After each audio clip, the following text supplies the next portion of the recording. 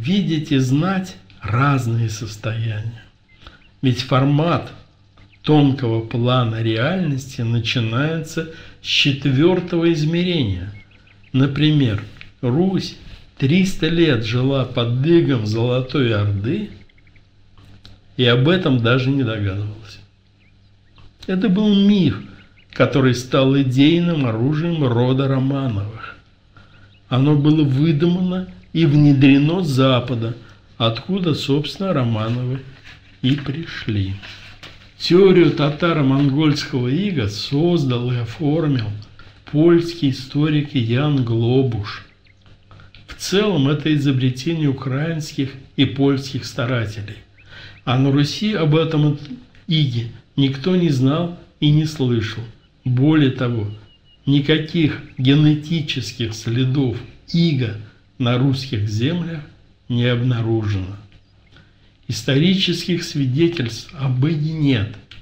Есть некие литературные реминсценции по поводу рассказов литовских шляхтичей об этом иге, которые поддерживали и распространяли этот миф, чтобы перенаправить территориальные претензии крепнущей Москвы западного направления на восточное.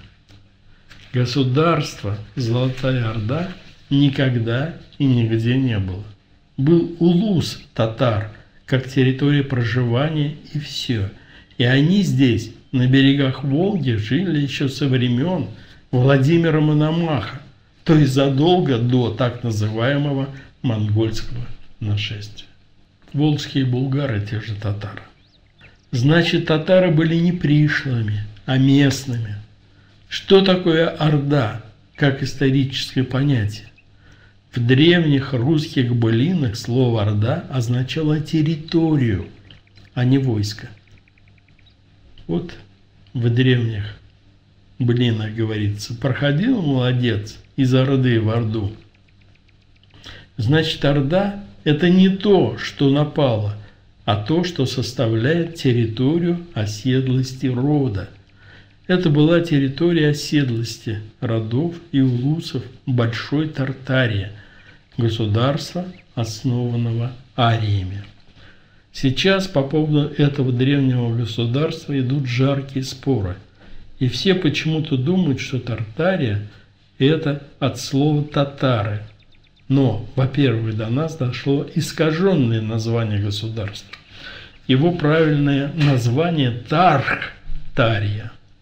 Ведь его покровителями были боги полярной звезды Тарх и Тара. В честь них и было назв... названо государство Тарх-Тария. Все это пример того, как пишется и внедряется в сознание людей история – которая кому-то и зачем-то нужна.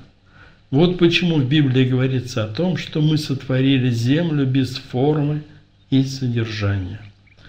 Мы, имея несовершенные органы восприятия, через свои несовершенные желания и возможности, сотворили гомогенную кашу внешней реальности, в которую избежали и из рая. Никто нас из рая, то есть пространства всех помыслов, не изгонял, потому что рай внутри нас есть. И Отец из него стучит нам, «Откройте свои окаменелые сердца, пустите меня в вашу реальность, вместе вечерять будем». Проект Гиперборея – это как раз тот самый духовный импульс, стук – через который осуществлялось взаимодействие Земли с духовными силами космоса.